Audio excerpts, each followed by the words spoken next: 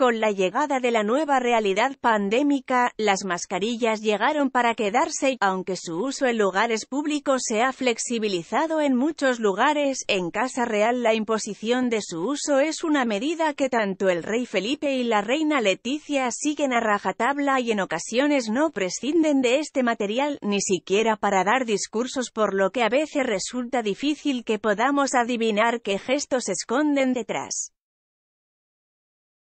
Justamente, esta semana, los reyes protagonizaron en su visita a Portugal una de las escenas más inesperadas, mientras se encontraban en la inauguración del primer centro especializado para el tratamiento e investigación del cáncer de páncreas, ubicado en Lisboa, y del que no se ha dejado de hablar en días.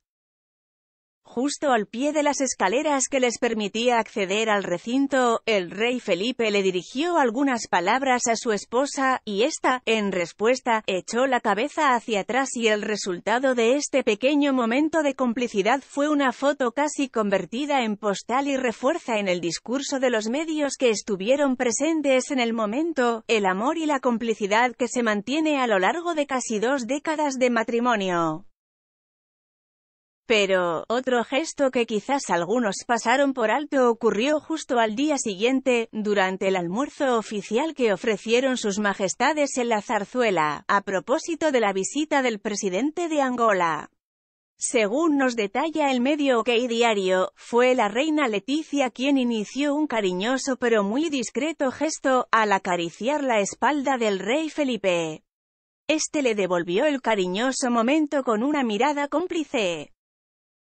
Hay otras expresiones que sobrepasan las barreras sanitarias que tienen que ver con la expresión de las emociones y el lenguaje no verbal.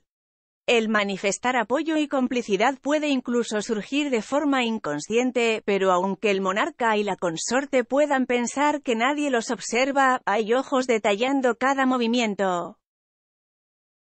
Hacía ya un buen tiempo que tanto el rey Felipe como la reina Leticia no regalaban estos instantes de cariño y complicidad al público. La verdad es que en los actos protocolares, las carantoñas y cualquier gesto que destaque fuera del orden estricto de este tipo de eventos queda fuera son plenamente conscientes de que el más mínimo gesto será estudiado y señalado para la difusión masiva, es por ello que evitan en tanto les sea posible cualquier tipo de intercambio que pueda distraer la atención de su trabajo diario. La reina Leticia siempre fue, de la pareja real, la más expresiva. Durante años, en muchas circunstancias, sus gestos la metieron en problemas. Era perfectamente posible empapelar paredes enteras con todas las notas periodísticas en las que fue captada haciendo el feo a sus suegros, los reyes eméritos, a una periodista que en una oportunidad estuvo de flirteo y se tomó una selfie con el rey Felipe, e incluso, se podía ver fácilmente cuando estaban ciertamente tensos. Hoy, diríamos que las mascarillas son para la reina una gran ventaja.